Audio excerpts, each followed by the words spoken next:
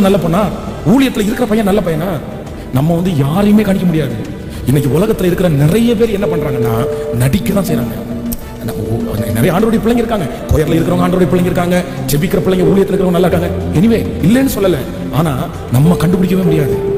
வெளி தோற்றத்தை வச்சு இவங்க நல்லவங்க கெட்டவங்க நம்மளால என்ன பண்ண முடியாது? சாரி சொல்லிட்டே இருங்க. எப்ப எது உங்க எது தப்புனாலும் சாரிப்பா சாரிப்பா சாரிப்பா தெரியாம சொல்லிட்டப்பா ஆனா ஸ்டில் ஐ லவ் யூப்பா ஸ்டில் ஐ லவ் யூப்பா உன நேசிக்கிறப்பா உங்களை விட்டு தான் எங்கப்பா போவேன்? நீங்க எனக்கு வேணும்ப்பா. இந்த ரெண்டு வார்த்தையும் உங்களுக்குள்ள எப்பவுமே இருக்கும். பட் அந்த கனெக்ஷனை வந்து இது வரைக்கும் நீங்க கட் பண்ணிருந்தீங்கன்னா இங்க இருக்கிற நிறைய பேர் நீ அந்த தப்பு பண்றதுக்கு காரணம் நீ இவ்வளவு பெரிய பிரச்சனையில சிக்கி இருக்கிறதுக்கு காரணம் வேற எதுவுமே இல்ல. ஆண்டவருடைய கனெக்ஷனை நீங்க விட்டதான் காலிப்ப தம்பி. ஏசு உனக்கு கொடுத்த ஃப்ரெண்ட்ஸ் சர்ச்சில் இருக்கிற ஃப்ரெண்ட்ஸை பிசாசு எடுத்துட்டு இன்னொரு ஃப்ரெண்டை கொடுத்தால அந்த ஃப்ரெண்ட் உன்னை என்ன ஜபத்தில் நடத்தினான்? அந்த ஃப்ரெண்ட் உன ஜோம் பண்ண சொன்னா அந்த ஃப்ரெண்ட் உன சர்ச்சு கூட்டிட்டு போனான்? அந்த ஃப்ரெண்ட் உன பார் கூட்டிட்டு போனா அந்த அந்த ஃப்ரெண்ட் உன சினிமா கூட்டிட்டு போனான்?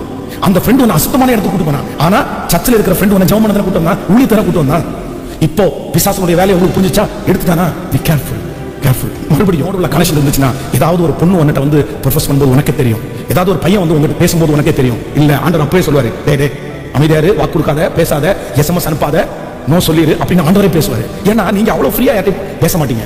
உங்களுக்கு எதுவும் தெரியாது. இயேசுவோடு உள்ள கனெக்ஷன் இல்லைன்னா இந்த இந்த காலத்தில் இருக்கிற வாலிப தம்பிங்க தங்கச்சிங்க நீங்க யாருமே பிழைக்க முடியாது. நீங்க கண்டிப்பா எங்கேயாவது ஒரு இடத்துல சிக்கிடுவீங்க நீங்க மாட்டிடுவீங்க நீங்க மாட்டினதற்கு பிறகு என்னதான் இருந்தாலும் நான் ஃபர்ஸ்ட் சொல்லப்பட்டது மாதிரி தீ காயம் காயம் தான். கண்ணாடியில உடஞ்சது உடைஞ்சதான் அதுக்கு முன்னாடி தப்பிச்சீங்கன்னா பரவாயில்ல. சாப்பிடும்போது அதுவும் வந்து ராஜா சாப்பாடு. அவர் சொல்லும்போது ரொம்ப அழகாக சொன்னாங்க சிக்கன் மட்டன் எல்லாம். அதெல்லாம் சாப்பிடும்போது நம்மலாம் அந்த சாப்பாடு இன்ட்ரெஸ்ட் வேற எதுவுமே யோசிக்க மாட்டோம். ஆனா அந்த நேரத்துல அதுவும் மூணு டைம் பாருங்க. அப்படின்னா அவர் வந்து மனசுல சும்மா விளையாட்டுக்காக ஏதாவது பண்றாரு அப்படின்னு நினைச்சிருக்கலாம் ஒருவேளை ராஜா. ஆனா கரெக்டான நேரத்துல டே திரும்பிடுறா. உனக்கு விரோதமா அவன் என்ன ஏறான் அவன் ராஜா அம்பு ஏறான் அவனை கொல்றதுக்காக கத்தர் சொல்லி தராரு பாருங்க. சிம்சோன் வந்து அந்த தெளிலாளுடைய மடியில படுத்து கிடக்கும்போது ஆண்டவருக்கும் அவனுக்கும் ஒரு கனெக்ட் இருந்திருந்துச்சுன்னா கண்டிப்பா ஆண்டவர் சொல்லி கொடுத்துருப்பாரு. இல்ல இவ பொல்லாத மனுஷி. உன்னை கொல்றதற்கு பாக்குறா. உன்னை அழிக்கிறதற்கு பாக்குறா. நீ ரொம்ப கேர்ஃபுல்லா இரு. கவனமா இருன்னு சொல்லி தருவாரு. ஆனா சிம்சோனுக்கும் ஆண்டவருக்கும் இப்ப என்ன இல்லைன்னா தப்பு பண்ண பண்ண பண்ண பண்ண கனெக்ஷன் போயிருச்சு. அதனால எதிரி எய்கிற ஆயுதத்தை அவனால கண்டுபிடிக்கவே முடியல பாருங்க. பி கேர்ஃபுல் நீங்க ஆண்டவரோட ஏன் கனெக்டா இருக்கணும் அப்படின்னா நம்முடைய கண்ணுக்கு வந்து அது ஆபத்து தெரியாது மகா. மகன் தெரியாது. நம்ம எல்லாமே ரொம்ப நல்லவங்கன்னு நினைப்போம். இன்னொன்னு சொல்றேன் நல்லா கவனிங்க. சர்ச்சில் இருக்கிற கொயரில் இருக்கிற பையன் நல்ல பையனா? கொயரில் இருக்கிற பொண்ணு நல்ல பொண்ணா? இல்லைன்னா சர்ச்சில் வந்து ஊழியத்தில் இருக்கிற பொண்ணு நல்ல பொண்ணா? ஊழியத்தில் இருக்கிற பையன் நல்ல பையனா? நம்ம வந்து யாரையுமே கணிக்க முடியாது. இன்னைக்கு உலகத்துல இருக்கிற நிறைய பேர் என்ன பண்றாங்கன்னா நடிக்க தான் செய்யறாங்க நிறைய ஆண்டோடைய பிள்ளைங்க இருக்காங்க. கோயில்ல இருக்கிறவங்க ஆண்டோடைய பிள்ளைங்க இருக்காங்க. ஜெபிக்கிற பிள்ளைங்க ஊழியத்தில் இருக்கிறவங்க நல்லா இருக்காங்க. எனிவே இல்லைன்னு சொல்லல.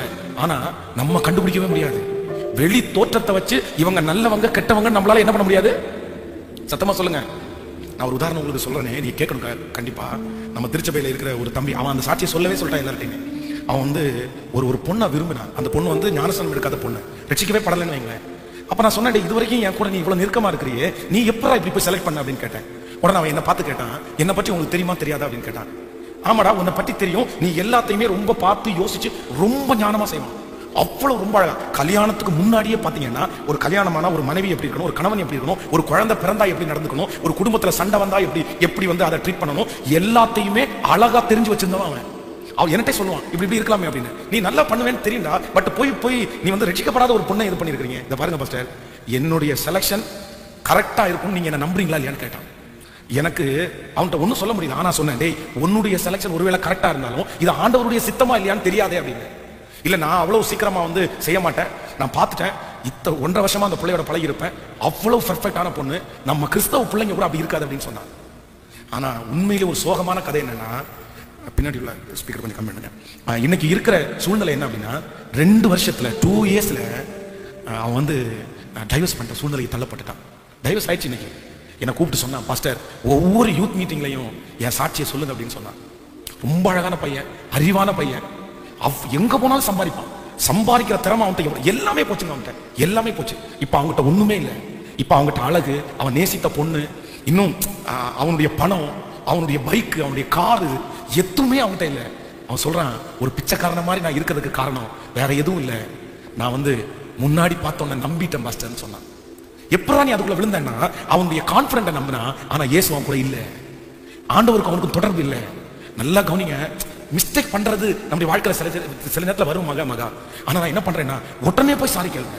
உடனே போய் சாரி கேளுங்க. இந்த சாரின்ற வார்த்தையை எத்தனை டைம் ஆண்டவர்கிட்ட கேட்குறீங்களோ அது ஒவ்வொன்றுக்கும் உனக்கு உங்களுக்கு வந்து ப்ரொமோஷனாக வரும்.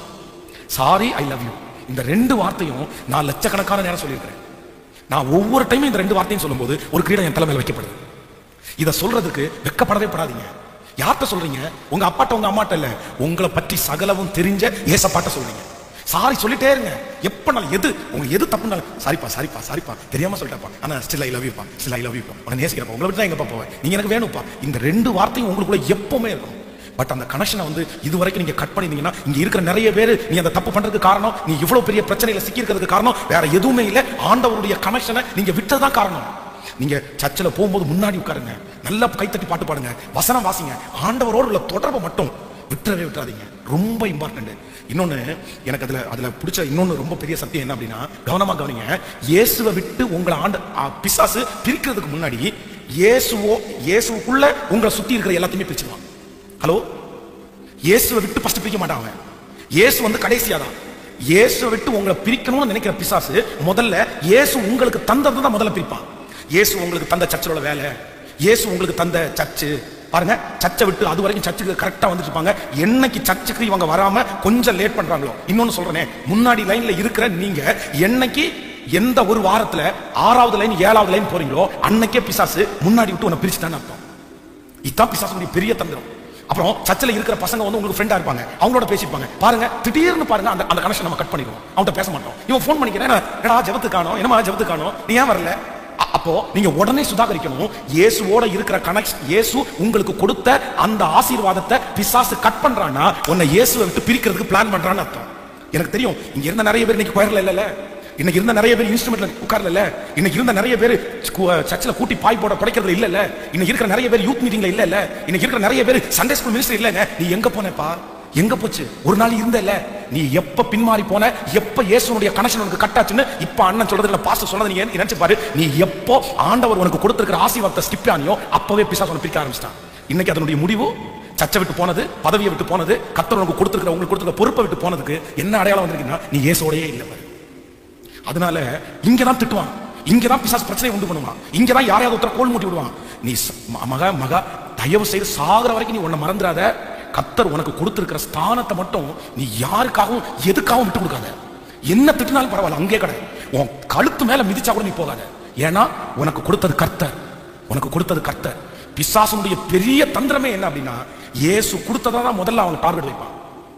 இயேசு கொடுத்ததை அவன் எடுத்துட்டு அவன் உனக்கு கொடுப்பான் பாருங்க இப்போ இங்க நிக்கிற வாலிப தம்பி இயேசு உனக்கு கொடுத்த ஃப்ரெண்ட்ஸ் சர்ச்சில் இருக்கிற ஃப்ரெண்ட்ஸை பிசாசு எடுத்துட்டு இன்னொரு ஃப்ரெண்டை கொடுத்தால அந்த ஃப்ரெண்ட் உன்னை என்ன ஜபத்தில் நடத்தினான் அந்த ஃப்ரெண்ட் உன்னை ஜெபம் பண்ணவா சொன்னா? அந்த ஃப்ரெண்ட் உன்னை சர்ச்சு கூட்டிட்டு போனான்? அந்த ஃப்ரெண்ட் உன்னை பார் கூட்டிட்டு போனான்? அந்த அந்த ஃப்ரெண்ட் உன்னை சினிமா கூட்டிட்டு போனான்? அந்த ஃப்ரெண்ட் உன்னை அசுத்தமான இடத்துக்கு கூட்டிட்டு போனான்? ஆனா சர்ச்சில் இருக்கிற ஃப்ரெண்ட் உன்னை ஜெபம் பண்ணதை கூட்டு வந்தான் ஊழியத்தர கூட்டு வந்தான் இப்போ பிசாசனுடைய வேலையை உங்களுக்கு புரிஞ்சுச்சா? எடுத்துட்டானா? பி கேர்ஃபுல் கேர்ஃபுல் மறுபடியும் மறுபடியும் உங்க பாஸ்டர்ட்ட சாரி கேட்டாவது போய் சேர்ந்துரு. பரவாயில்ல உனக்கு தப்பா நினைச்சா கூட பரவாயில்ல. அந்த சர்ச்சில் உனக்கு நாலு நாள் உன்னை அசுத்தமா பேசுவாங்க. என்ன? எங்கேயோ போயிட்டு வந்துட்டேன். பரவாயில்ல. ஏச்சு வாங்கிக்கோ. பேச்சு வாங்கிக்கோ. நீ இழந்து போன ஸ்தானத்தை நீ விட்டு போன ஸ்தானத்தை கத்தர் உனக்கு கொடுத்துருங்கிற ஸ்தானத்துக்கு ஓடிரு. ஓடிரு. தயவு செய்து ஓடிரு. உன் சர்ச்சில் குறிப்பிட்ட ஒரு இடத்துல போய் உட்காந்து அஞ்சு வருஷத்துக்கு முன்னாடி மூணு வருஷத்துக்கு முன்னாடி ஜோம் பண்ற நபரா நீ இருந்திருந்தீங்கன்னா பிசாசு ஏதோ ஒரு காரியத்தை கொண்டு போய் அந்த இடத்துல இருந்து உன்னை பிரிச்சிருப்பானா தயவு செய்து இந்த மீட்டிங் முடிஞ்ச உடனே ஓடிடு இயேசு கொடுத்த எதையுமே தயவு செய்து நீ இழந்துடாத ப்ளீஸ் இழந்துடாத இயேசு அவ்வளவு சீக்கிரமா உனக்கு கொடுக்க மாட்டாரு. எல்லாரும் மாதிரி நான் கொடுத்துருவேன். நீ ஒரு நாள் பாட்டு பாடுறத பார்த்து கொடுத்துருவேன். ஒரு நாள் பிரசங்கம் பண்றத பார்த்து கொடுத்துருவேன். ஆனா இயேசு அப்படி கொடுக்க மாட்டாரு. இயேசு ஒன்று உன் கையில கொடுக்குறாரு அப்படின்னா உன்னுடைய கண்ணீரை பார்த்து உன் அங்கலாய்ப்பை பார்த்து உன்னுடைய வெறுமையை பார்த்து உன்னை எல்லாரும் வெறுக்கிறாங்கன்னு பார்த்து கத்தரா பார்த்து உனக்கு கொடுக்குறது. எல்லாருக்கும் கிடைக்காது. பாஸ்டரோட நெருங்கிறது எல்லாருக்கும் கிடைக்காது. ஊழியம் எல்லாருக்கும் கிடைக்காது. சர்ச்சோட யூத் மீட்டிங் எல்லாருக்கும் கிடைக்காது. ஆனா உனக்கு கிடைக்குதுன்னா ஏசப்பா உன்னை ஸ்பெஷலா நேசிக்கிறாரு. அதனால தான் கிடைக்குது. ஸோ இயேசு கொடுக்குற ஸ்தானத்தை நீ யாருக்காகவும் எதுக்காகவும் விட்டு கொடுக்கவே கொடுக்காத என் பாஸ்டர் வந்து நான் வந்து பாஸ்டர் பிரசங்கம் பண்ணும்போது நான் எப்பவுமே அவர் பிரசங்கத்தை குறிப்பெடுக்கிறது வழக்கம். பேனா கொண்டு போகல என் ஃப்ரெண்டு பக்கத்துல இருந்தான். டேய் கொஞ்சம் பேனா கொடுறா. பாஸ்டர் பிரசங்கம் பண்ணுறாரு குறிப்பெடுக்கணும்னு சொன்னேன். நான் கேட்ட அந்த நிமிஷத்தை எங்கள் பாஸ்டர் என்ன பார்த்துட்டாரு. பிரசங்கம் பண்ணிட்டு இருக்காரு. பிரசங்கத்தை ஸ்டாப் பண்ணிட்டாரு. ஏவா அப்படின்னு கூப்பிட்டாரு. என்னையும் கூப்பிட்டாரு என் ஃப்ரெண்டையும் கூப்பிட்டாரு. கூப்பிட்டு முன்னாடி நிற்க வச்சு முந்நூறு பேர் சர்ச்சில் உட்காந்துருக்காங்க ரெண்டு கையை நீட்ட சொல்லி அவருடைய முழு பலத்தையும் சேர்த்து ஓங்கி அடிச்சாரு மூணு டைம். அடிச்சுட்டு சர்ச்சில் அனௌன்ஸ் பண்றாரு. நான் பிரசங்கம் பண்ணும்போது இவனை ரெண்டு பேரும் பேசிட்டு இருந்தாங்க. இவனை அடிக்காம என்ன பண்றது? போய் உட்காருங்க அப்படின்னாங்க. ஆனா அந்த அந்த அடியை வாங்கிட்டு எல்லாரும் என்னடா அடி வாங்கிட்டேன் அடி வாங்கிட்டேன் அடி வாங்கிட்டேன் நான் அவமானமா நினைக்கல. வெக்கமா நினைக்கல. அவருடைய காலுக்கு பக்கத்தில் உட்காந்து காலை அமுத்தி விட்டுட்டு சாரி பாஸ்டர் உங்களை துக்கப்படுத்திட்டேன். நீங்க பிரசங்கம் பண்ணும்போது தான் நான் அதை எழுதினேன். நான் வந்து அப்படி பேசணும்னு நினைக்கல. அப்படின்னு அவர்கிட்ட போய் நின்னேன். ஏன்னா அந்த பாஸ்டரோட இருக்கிறதுக்கு கர்த்தர் எனக்கு கொடுத்துருக்கிற ஒரு வாய்ப்பு. இதை நான் இழந்துட்டேன்னா அங்கேருந்து என்னை என்ன பிரிக்கிறதுக்கு பிசாசு முயற்சி எடுக்கிறான் அப்படின்றது எனக்கு கத்தரை கத்து கொடுத்துட்டாரு. இல்ல நீ பிரியக்கூடாது. அப்ப அங்கேயே இருந்த பாருங்களேன் இன்னைக்கு ஊழியக்காரன் நிற்கிறதுக்கு அது ஒரு பெரிய காரணம் கண்டிப்பா அது ஒரு காரணம் இல்லைனா இல்லைனா இந்த ஆயிரக்கணக்கான பிள்ளைங்களுக்கு முன்னாடி நான் நின்றுக்க மாட்டேன்.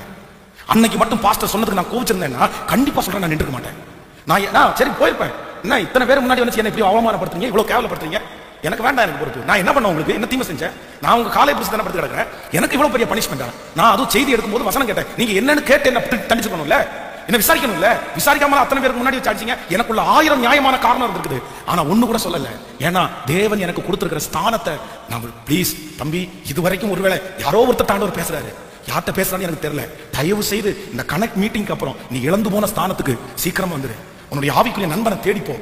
உன்னுடைய உன்னை ஆவிக்குரிய வழியில நடத்துறவங்களை விட்டு பிரிஞ்சிருக்கிறியா? இனி அந்த மாதிரி ஒரு கனெக்ஷனை ஏற்படுத்து. தேவன் உனக்கு கொடுத்த கனெக்ஷனை நீ வந்து ஏன்னா அதை பிரிச்சுட்டான்னா பிசாசு இயேசு உன்னை ரொம்ப பிரிச்சிடலாம் ஸோ ஒரு முடிவு எடுத்துட்டு போங்க. இல்ல ஆண்டவரே இனி எனக்கு கொடுக்குற எதையுமே நான் என்ன பண்ண மாட்டேன்னா இந்த சர்ச்சில் வெறும் கூட்டுனா போதும் சாமி நீ. கூ நீ ஒண்ணுமே பண்ண வேண்டாம். நீ மைக்க பிடிச்ச பிரசங்க எல்லாம் பண்ண வேண்டாம். நீ கீபோர்டு அமுத்தி மியூசிக் எல்லாம் வாசிக்க வேண்டாம். வெறும் கூட்டுனா போதும். அதுக்கும் ஒரு அ- ஒரு ஆசீர்வாதம் இருக்கு இதுக்கும் ஒரு ஆசீர்வாதம் இருக்கு. நான் இன்னும் சொல்ல அதை விட இது ஆசீர்வாதம் இருக்குது. நான் கூட்டினேன் நான் பாய் போட்டேன் நான் சேர் தொடச்சேன் நான் பாஸ்டர் காலம் அமுத்தி விட்டேன் நான் என் பாஸ்டருடைய இன்னஸ் முதல் கொண்டு துவச்சு போட்டேன். என் பாஸ்டருடைய தாடி நான் கட் பண்ணி விட்டேன் என் பாஸ்டர் நான் நகை நகம் வெட்டி விட்டேன் என் பாஸ்டருடைய தட்டில் நான் சாப்பிட்டேன். என் சர்ச்சுக்காக அப்படி நான் பாடுபட்டு அப்படி உழைச்சேன். இன்னைக்கு அத்தனையும் மேன்மையை அப்பா அப்பா அப்பா அப்பா அப்பா அவருக்காக செஞ்ச ஒருத்தரையும் என் பாஸ்டுக்காக செய்யல அவரை நேசிச்சதுனால செய்யல அவரை விரும்புறதுனால செய்யல. இன்னைக்கு இன்னைக்கு பாக்குறோம் பாருங்க.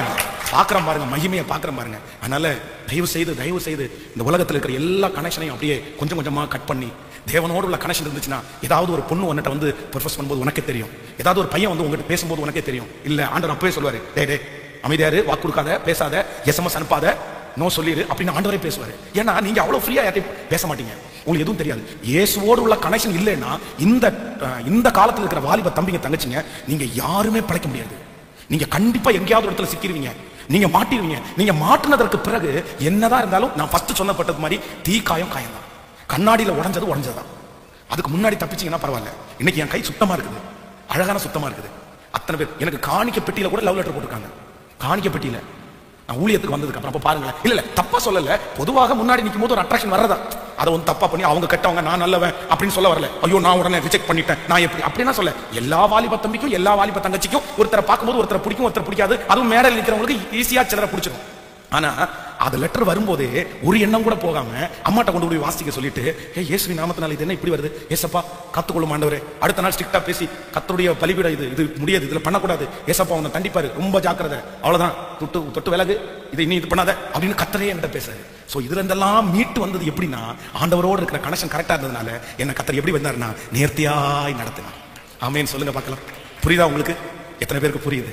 அதனால இந்த ரெண்டாவது செக்ஷன்லையும் நான் ரெண்டு விஷயத்த உங்களுக்கு சொல்லியிருக்கிறேன். எழுதுறவங்க எழுதிக்கங்க. நான் ஒன்னொன்னா சொல்ல சொல்ல நீங்க எழுதி கூட வச்சுங்க ரெண்டு விஷயத்த சொன்னேன். ஒண்ணு ஆண்டவரோடு உள்ள கனெக்ஷன் உங்களுக்கு சரியா இருந்தா தான் உங்களுக்கு என்ன நடக்கும் அப்படின்னா உங்களை சரியான விதத்தை அப்படின்னா தப்பான விஷயத்த நீங்க டிசைட் பண்ணாம உங்களை காத்துக்கும்.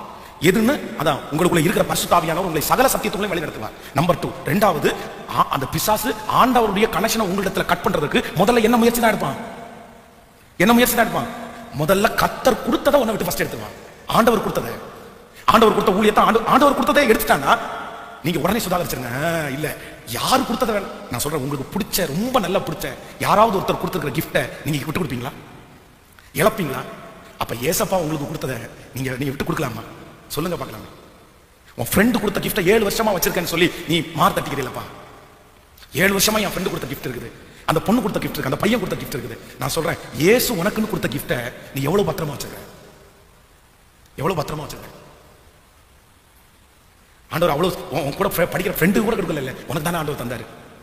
ஏசப்பாட்டை வாங்குறது எவ்வளோ லக்கி எவ்வளோ பெரிய விஷயம் ஏசப்பாட்டை வாங்குறது. அது சாதாரணமா? ஒரு சாதாரணமா. உங்கள் அம்மா அப்பா கூட கத்திர உனக்கு கொடுத்த கிஃப்ட்டு ஏன்னா உனக்காக முழங்கால் போட்டு ஜெபம் பண்ணுறாங்களே ஏசு கொடுத்த எதையுமே இழந்துடாத சொல்லுங்கள் எல்லாருமே இயேசு கொடுத்த எதையுமே நான் இழக்க மாட்டேன். சொல்லுங்கள் இயேசு கொடுத்த எதையுமே இழக்க மாட்டேன். திரும்ப திரும்ப சொல்லுங்கள் இயேசு கொடுத்த எதையுமே இழக்க மாட்டேன். என்ன வந்தாலும் எந்த சூழ்நிலை வந்தாலும் என்ன திட்டுனாலும் என்ன பகைச்சாலும் என்ன மிதிச்சாலும் என்ன அவமானப்படுத்தினாலும் என் இயேசு கொடுத்ததை மட்டும் நான் சாகிற வரைக்கும் இனி என்ன பண்ண மாட்டேன்னா இறந்து போன ஒவ்வொருத்தருக்கும் இயேசப்பா திரும்ப தருவாரு. அந்த ஆவிக்குரிய நண்பனை திரும்ப தருவாரு. அந்த ஊழியத்தை திரும்ப தருவாரு. அந்த பாடலை திரும்ப தருவாரு. லூயா கத்தர் இன்னொரு விசை உனக்கு அந்த வாய்ப்பை கொடுத்து கத்தர் இன்னொரு விசை உனக்கு அந்த கிரியை செய்வார். நான் நம்புறேன் நான் விசுவாசிக்கிறேன். இந்த கனெக்ட் மீட்டிங் முடிச்சதுக்கு அப்புறம் நீ இழந்ததை கத்தர் இன்னொரு விஷயம் உங்களுக்கு தருவாரு. நீ ஆண்டோடத்துல கேளுங்க. அப்பா ஒரு டைம் நீங்க கொடுத்த கிஃப்ட்டை நான் வந்து தொலைச்சிட்டேன் நான் விட்டுட்டேன். ஆனா இன்னொரு டைம் கொடுங்கன்னு கேளுங்க. கத்த தருவார். தர்றதை நீங்க சாகிற வரைக்கும் என்ன பண்ணிடக்கூடாதுன்னா விட்டுறவே கூடாது. ஆமேன்னு சொல்லுங்க.